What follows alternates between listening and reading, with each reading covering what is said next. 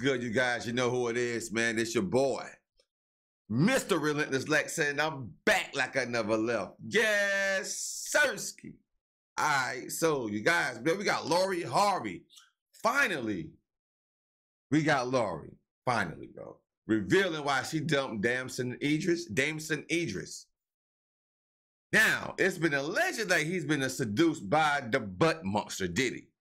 Oh, alleged. This is all alleged news. But so Lori Harvey is spilling the beans on Damson and Diddy, or is she spilling the beans on Diddy on Damson, or whoever was on who? You feel me? Spicy. So funny because there's because I'm so quiet. Yeah. There's been so many stories that have Yeah. been made up about me. Like Yeah. I've seen stories about me being like fully in love with somebody and we have like this whole relationship and I'll see the guy and I'm like I've actually never even met him before. Looks like Lori has spilled the tea on what really went down Never between her and before. Damson Idris, and rumor has it that Diddy might have played a role in their relationship drama. So, what exactly did she say? Well, for starters, it seems that Hollywood's creepiest gay gatekeeper has allegedly been having hots for Idris. For context, a recently resurfaced video of Idris and Diddy has been making rounds on the internet. In the video, Diddy, who is recording, appears to be in some sort of hangout in his crib with Damson and another guy where they were watching snowfall. You're watching the game, my brother eating some chicken and waffles. This pretty black right here. You know what I mean? Hey yo, you did your thing this season. creepy that even fans felt Diddy was trying to groom Damson. That's how his predators groom their victims, one fan Dang. wrote. Now, word on the street has it that Boy, Sean Diddy Diddy Combs chain, may have his sights set on wooing Damson Idris, possibly as a way to get back at Lori Harvey for ending their relationship. The rumor mill is abuzz with speculation about the motivations behind Diddy's alleged interest in Damson, suggesting a desire for revenge after the reported breakup with Lori. According to the gossip outlet TMZ, Lori Harvey has long been a part of the Combs family's social circle, and this connection is not surprising given the intertwined histories of the Harvey family and Diddy. The friendship between Diddy and Steve Harvey dates back to at least 2005, creating a foundation for Lori and Diddy's relationship. Despite the rampant speculation and the watchful eyes of the paparazzi, the romantic involvement between Lori and Diddy was never officially acknowledged. The first whispers of their connection emerged in the summer of 2019, but both individuals maintained a veil of privacy around their personal lives.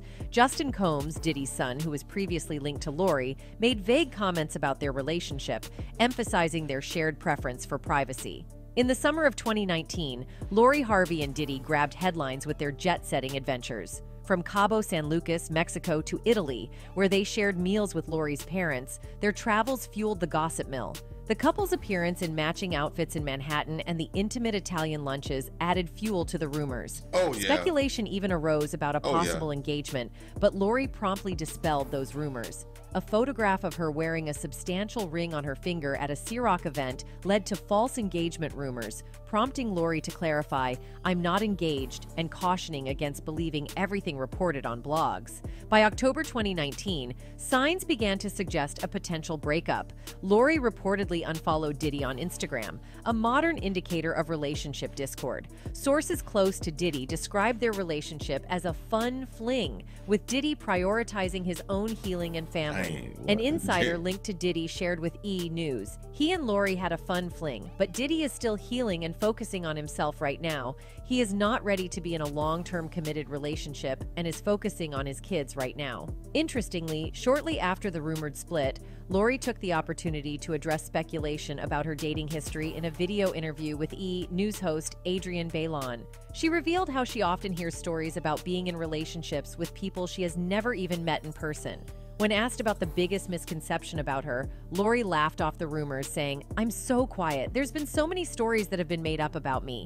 I've seen stories about me being fully in love with somebody, and we have this whole relationship, and I'll see the guy, and I'm like, I've actually never even met him before.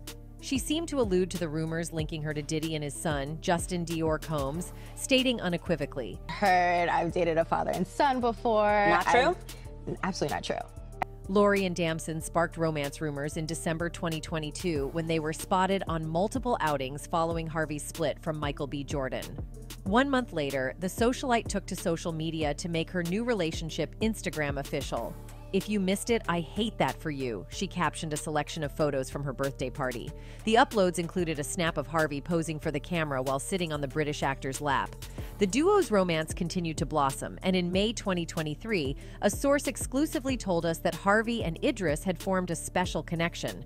Lori's got her heart set on being the next Hollywood power couple, the insider shared. Lori adores Damson, and he's equally smitten. Just a few months before announcing her romance with Idris, Harvey shared what she was looking for from a partner on Bumble's Love to See It YouTube series transparency, openness, and communication, she said.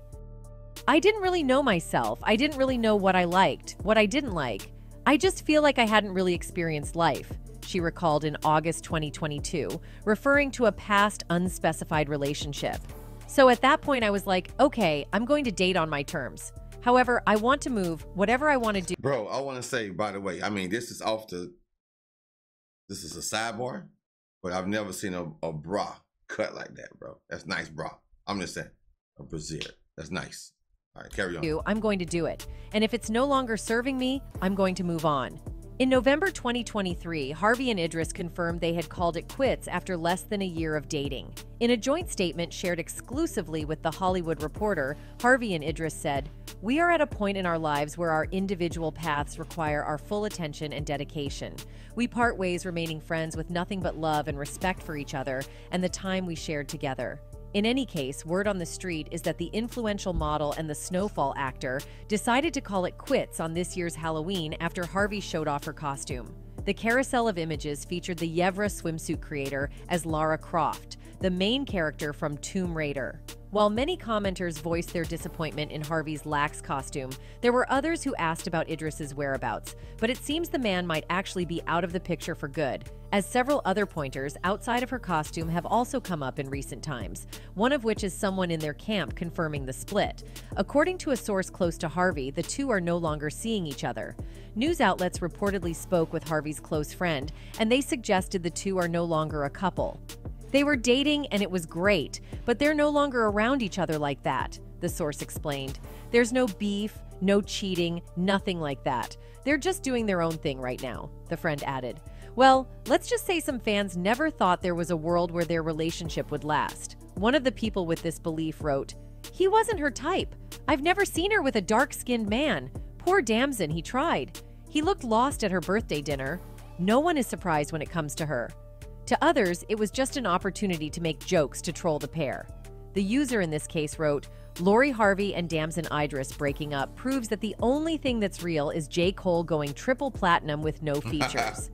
The news about their split came as a surprise to several people, even some in the industry, as Lori and Idris seemed absolutely perfect for each other since the beginning, even though they were a little shy at first. Meanwhile, in addition to making moves at him in public, Diddy also invited Damson to one of his infamous parties. In fact, Damson even talked about it during a 2022 interview with The Breakfast Club. It's funny, like I'm about to be nervous, but they know so much about my work that I'm almost not allowed to be nervous anymore, right he explained. I remember when I first went to the Gold Party at Oscar night, and Puff Daddy introduced me to Hav. That's how I met Hav, through Puff. And Puff was like, Yeah, Hav, this is Damson Idris. He's like the new Denzel Washington. And I was like, Nice to meet you. And Hav walked away, and Puff was like, You see how you're acting right now? Like, ain't nothing a big deal? Yeah, keep that, keep that, he continued. So ever since then, if I meet anyone, and it isn't like some hater stuff, like I love them, but keep it in. At the end of the day, like I said, if ever meet Denzel, it's just thank you. I'm not asking for a picture. I'm not asking for advice or anything. Just thank you. You've already given me everything through existing. Now, it might seem as though Diddy only invited Damson in order to introduce him to key people in the industry, but we know better. A lot more than networking happens in those parties. One person who almost fell prey for these parties is none other than Tyler the Creator.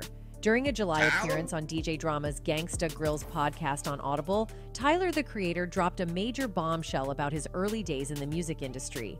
The 32 year old rapper revealed that both Jay Z and Diddy had offered him record deals before he found success on his own, but he turned them down for a very specific reason. According to Tyler, Jay Z invited him and his crew to one of his Los Angeles homes, where they enjoyed tacos together. During their time together, Jay Z expressed interest in signing Tyler to his label. However, the young rapper declined the offer, along with another one from Diddy, because he wanted to maintain sole creative control over his business. Him, Puff, a lot of people were interested. I don't know, I just want creative control and do everything, Tyler explained to DJ Drama. Despite turning down the deals, Tyler the Creator and Jay Z went on to build a strong relationship. They collaborated on Frank Ocean's track Biking in 2017, and Tyler has praised Jay Z for giving him ill advice over the years. Many fans are convinced that Tyler refused to collaborate with Diddy probably because he had heard of all the rumors about Diddy's alleged attempts at GM male artists that came under his wing. In any case, rappers like 50 Cent have made fun of Puffy regarding the types of parties he'd make where there were all men and supposedly even younger men. That's why I don't be going to them puffy parties. And hug you Smart from the man, front and the back at the same time. F you talking about? He said. In a clip circulating on social media, he continued, Look, if you into that, you into that. I'm fine with it. To each his own. I'm just saying this ain't my kind of party. It's uncomfortable. I think I belong in the girls' bathroom when ish like that is going on. Usher also spoke about these parties. You see, at just 14 years old, Usher attended what was referred to as Puffy's Flavor Camp. And in a 2004 interview with Rolling Stone, Usher revealed that Diddy introduced him to the adult lifestyle, and he witnessed some wild things at Diddy's house. Puff introduced me to a totally different set of ish, S specifically. S is so hot in the industry, man. There was always girls around. You'd open a door and see somebody doing it, or several people in a room having an orgy. You never knew what was going to happen. Usher also spilled the tea on the Howard Stern show when he talked about his time at Diddy's place. In a 2016 interview, he told Howard Stern that he truly learned what it meant to be famous after living with Puff Daddy for a year at the age of 14. I got a chance to see some things. I went there to see the lifestyle and I saw it, Usher said during his first Stern show interview. In the same interview, Usher went on to reveal how Diddy would bring a Bro, bunch is it me or do it look like Usher is blushing right there, bro? I swear. That's how you know he guilty, bro. Look, the, my man Stern asking Usher about Diddy. That nigga blushing. that nigga, that cheese the whole time. got a chance to see some things. I went there to see the lifestyle nigga and I saw it, Usher said during his like- first Stern Show interview.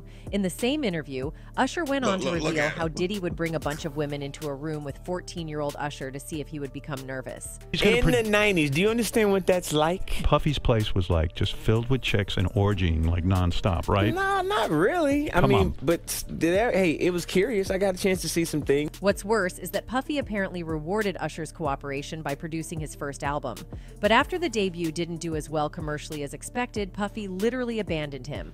The rapper passed on being a part of Usher's Just like second album called My Way, which went 6x platinum in the late 90s. Besides that, in a recently resurfaced interview with Kevin Hart, Diddy let it slip that he and Usher used to sleep in the same bed when Diddy was 19, which means Usher was just 10 years old at the time. My brother right here from day one. We used to wake up and I mean, damn, pause, but like that's how. I mean, I mean, back in the days when he was like ten and I was a little. Meanwhile, Jaguar Wright has also exposed truths about powerful people like Diddy in the industry. According to Wright, she's hired an entertainment lawyer who worked with Bad Boy around 2003, and this legal eagle has a doozy of a story to share. Wright alleges that Diddy has been using his power to force his subordinates to satisfy him. Apparently, Diddy had a meeting with the talented singer and actor, Christopher Williams, about a demo deal. But when the attorney went to Diddy's office to get approval for some paperwork, she was in for quite a shock. She allegedly walked in on Williams performing an intimate act on Diddy. But here's the kicker that surprising sight didn't seem to bother the lawyer at the time. However, the next day, Diddy brought it up and allegedly asked if she intended on telling anyone. As if that wasn't already terrible enough, the rapper reportedly went on to threaten her, saying that he would ruin her life if she spilled the beans. Diddy's ex bodyguard Gene Deal commented on Jaguar's accusation on his YouTube channel.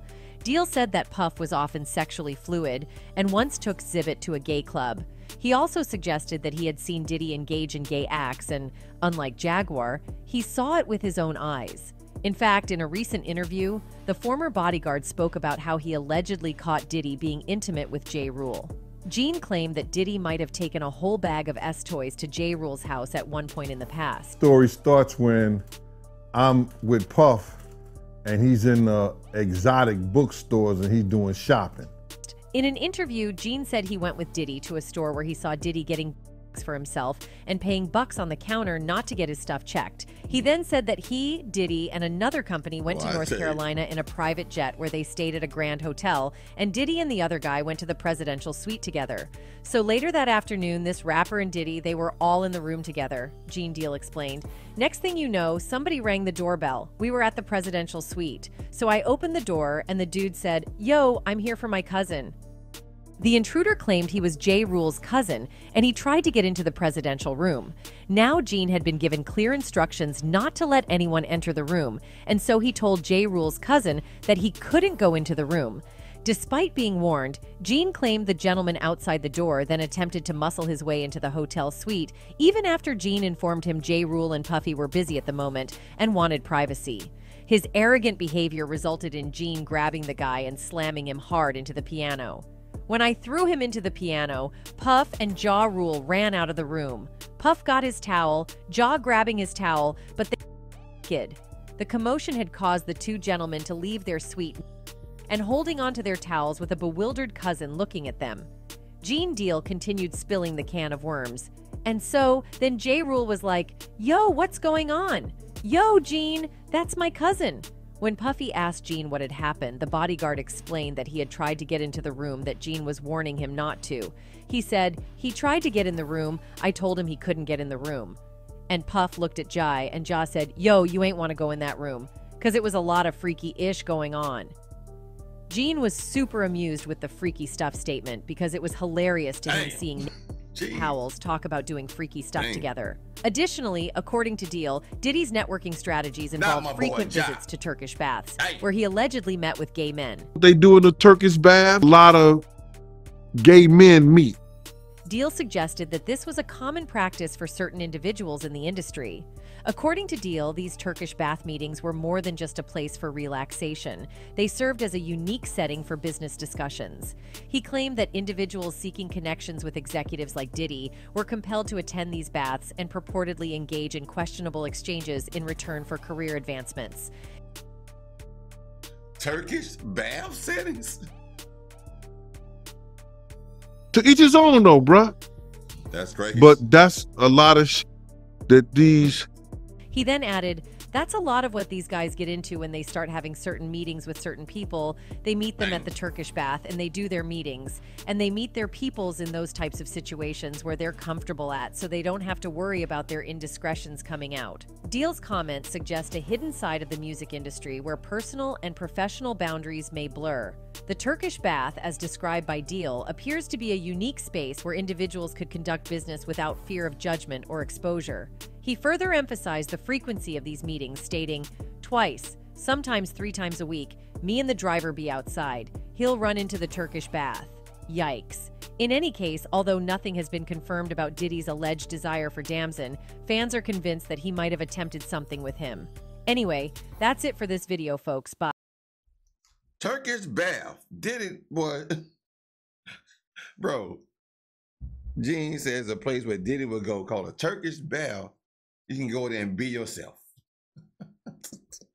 Bro, it's it- I don't need a place. I don't have to go to a place called a Turkish bath. I got a shower to be my bro. Why would I want to go lay on an octagon shaped platform with some naked men talking about I'm taking a Turkish bath and I just want to be my bro. Did it? It's off the chain, bro.